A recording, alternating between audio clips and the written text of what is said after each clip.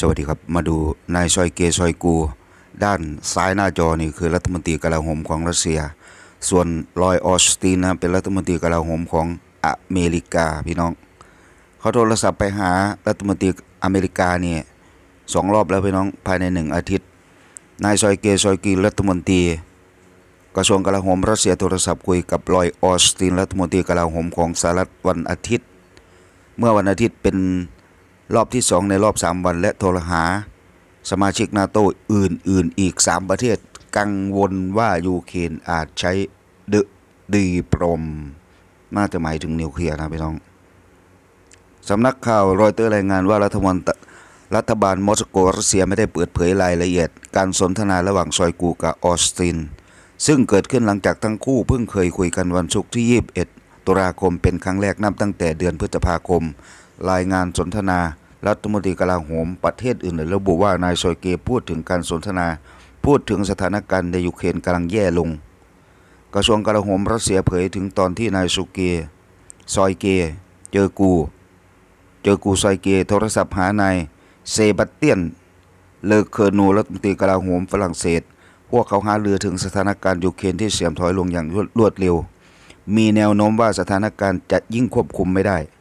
นอกจากนี้รัฐมนตรีกลาโหมของรัสเซียยังโทรศัพท์ไปหานายอูลูซีกลาโหมของตุรกี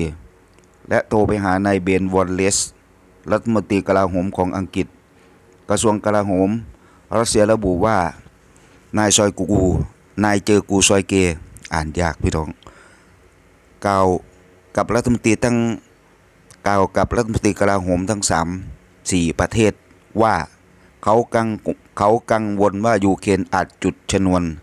เดอะดรีบรอม และอุปกรณ์ที่เกี่ยวด้วยวัตถุกัมมันตรังสี แต่รัสเซียไม่ให้หลักฐานรายละเอียดที่พูดถึง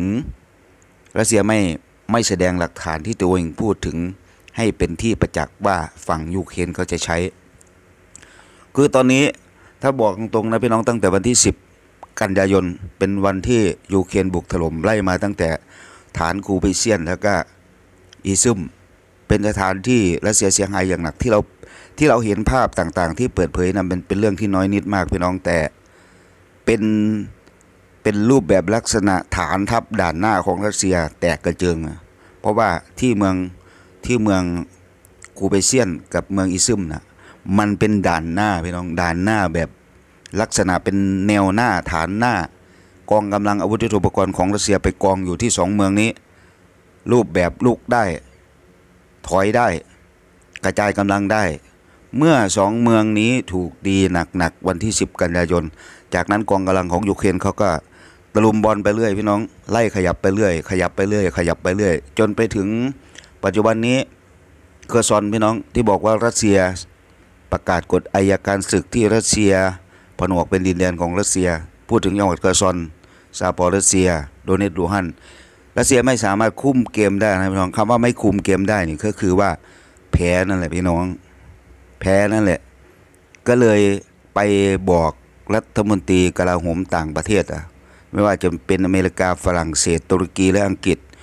ไปพูดแบบลักษณะว่าสถานการณ์มันเลวร้ายไม่สามารถที่จะคุมควบคุมได้ คือตัวเองแพ้นั่นแหละ เมื่อควบคุมไม่ได้ก็เลยกล่าวหายูเครนว่ายูเครนอาจจะใช้เดอะตีบรอม หรือ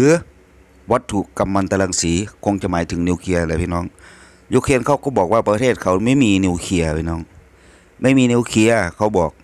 ถ้าหากยูเครนมีนิวเคลียร์กู bomb ไปถึงมอสโกแล้วเขาพูดอย่างนี้พี่น้องก็ถูกนะ ถ้าเขามีนิวเคลียร์เขาเล่นไปแล้วพี่น้องเรื่องอะไรเขาจะเอาไว้ใช่ไหมจะว่าไปตามตรงนะพี่น้อง ประเทศยูเครนมันเป็นประเทศเอกราชใช่ไหมกูจะใช้ระเบิดอะไรมันก็เรื่องของกู พูดแบบภาษาชาวบ้านนะกูจะใช้ระเบิดอะไรมันก็เรื่องของกู เพราะกูจะปราบโจรกบฏใช่ไหมกูจะปราบพวกที่มาป้นแผ่นดินคนอื่นใช่ไหมพูดแบบนี้ถูกไหมมันก็ถูกเลยครับ อ่า บ้านของกูกูกำลังจะปราบโจรมันเกี่ยวอะไรกับมึงใช่ไหมมันก็ถูกนะ แต่ว่าตอนนี้รัสเซียก็เล่นโทรศัพท์ไปคุยกับคนนั้นคนนี้ลักษณะฟ้องคนนั้นฟ้องคนนี้เลย เหมือนเด็กอะพี่น้องเหมือนเด็กอนุบาล พอไม่ให้กินขนมก็ฟ้องคนนั้นฟ้องคนนี้ ควบคุมสถานการควบคุมสถานการณ์ไม่ได้ก็ ตัวเองไม่สามารถรับศึกที่ยูเครนเริ่มถล่มมาตั้งแต่วันที่ 10 กันยายน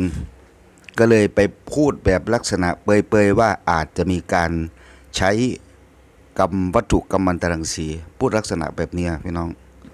ทีนี้ไปดูหนังสือพิมพ์ฉบับดังพี่น้องเขาเผยแพร่ทางโลก อินเทอร์เน็ตเขาบอกว่าอาวุธนิวเคลียร์คือตัวเปลี่ยนเกมศึกรัสเซียยูเครนมาตรการความบาดของชาติตะวันตก ยิ่งผลักดันให้รัสเซียเข้าสู่สงครามโลกครั้งที่ 3 เป็นไปไม่ได้หรอกพี่น้อง เพราะว่าเหตุผลกลไกที่จะย่างก้าวเข้าสู่สงครามโลกครั้งที่3เนี่ยเป็นไปได้น้อยมาก เพราะว่ากลุ่มประเทศพันธมิตรรวมทั้งกลุ่มนาโต อาวุธที่เขามีอยู่เขายังไม่ได้ใช้แบบเต็มที่นะพี่น้อง ถ้าเกิดสมมติว่ารัสเซียใช้นิวเคลียร์หรือใช้กัมมันตรังสีที่เขาพูดถึงนะ รับรองการเปิดศึกตะลุมบอลอาวุธทุกชนิดมันต้องไหลเข้ารัสเซียแบบไม่ต้องปิดกั้นไม่ต้องถามเหตุผล ไม่ต้องถามอะไรทั้งนั้นมันต้องตะลุมบอลแบบเต็มที่อะพี่น้อง ทีนี้หลังจาก นายวลาดิเมียร์ปูตินรัสเซียกองทัพรัสเซีย สั่งกองทัพนิวเคลียร์เตรียมพร้อมในระดับสูง ก็สั่งเตรียมพร้อมแล้วนะพี่น้องคำสั่งของประธานาธิบดีวลาดิเมียร์ปูตินของรัสเซีย สั่งให้กองทัพนิวเคลียร์เตรียมพร้อมระดับสูง สร้างความวิตกว่าสงครามระหว่างรัสเซียกับยูเครนจะลุกลาม เพราะถ้าหากมีการใช้อาวุธนิวเคลียร์ซึ่งอาจถึอาจจะดึงสหรัฐเข้าร่วมสงครามด้วย ไม่ไม่ใช่อาจจะนี่พี่น้องเข้าแน่นอน ตอนนี้ก็เข้าแล้ว แต่ว่าเข้ายังไม่ได้เต็มที่ แต่ถ้าเข้าเต็มที่เมื่อไหร่รับรองอะ bomb อะพี่น้อง สภาพรัสเซียคือถูก bomb หนักแล้วนะพี่น้องถ้าเกิดสมมติว่าชาติอเมริกากับกลุ่มสมาชิกนาโต้เขาเข้าแบบเต็มที่นะ รับรองกระดิกกระดุกกระดิกกระดิกไม่ได้พี่น้อง เพราะอาวุธยุทโธปกรณ์กลุ่มชาติตะวันตกเขาขนมาที่ประเทศเอสโตเนียลัตเวียลิเวีย เต็มที่พี่น้องลิทัวเนีย หากเบลารุสหากเบลารุสฟังตามคำสั่งของรัสเซียใช่ไหม เกิดยิงอะไรตูมตามออกจากเบลารุสเข้ายูเครนรับรองอาวุธที่เขาไปจ่อรออยู่ที่ประเทศลัตเวียลิทัวเนียเอสโตเนียก็ต้องบึ้มอีกนะต้องบึ้มแบบเต็มที่พี่น้องรอแค่ว่า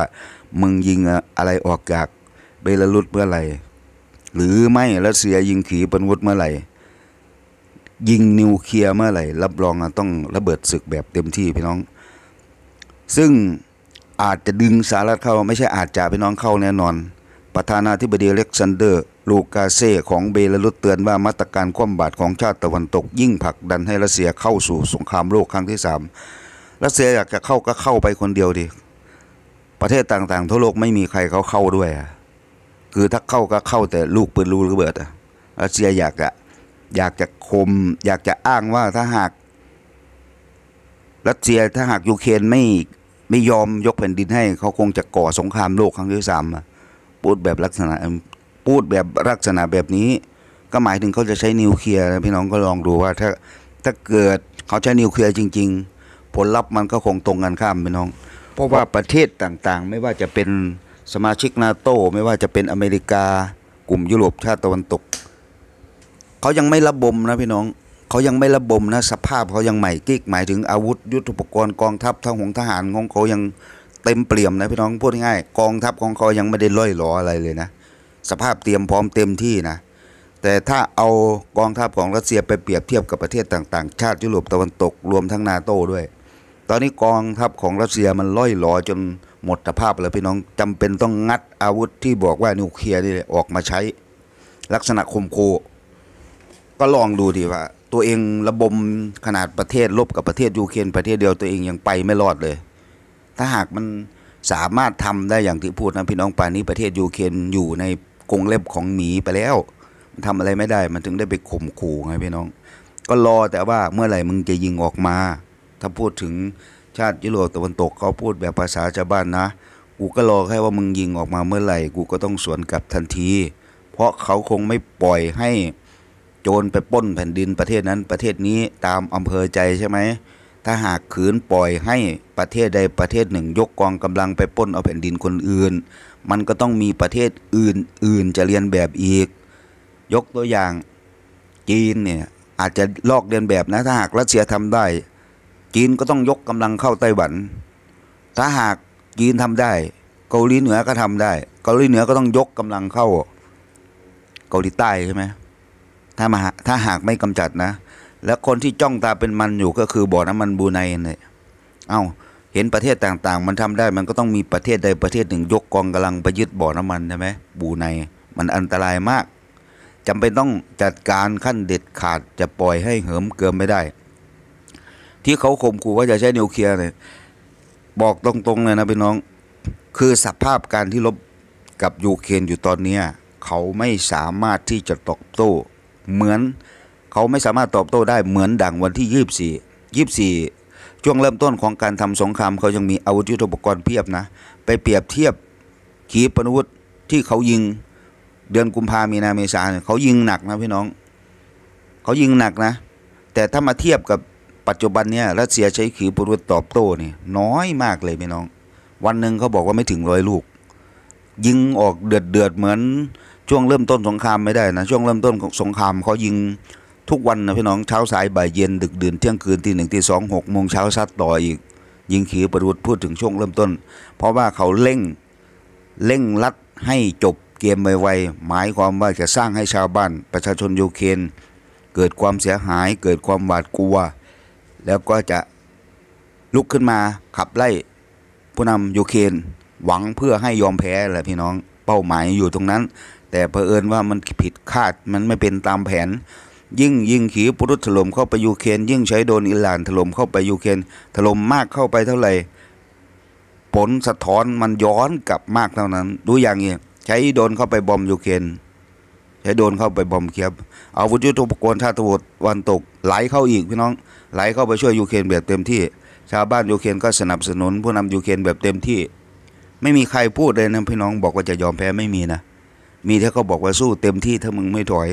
ก็ต้องตายกันไปข้าง ก็ประมาณแค่นี้นะครับ สวัสดีครับ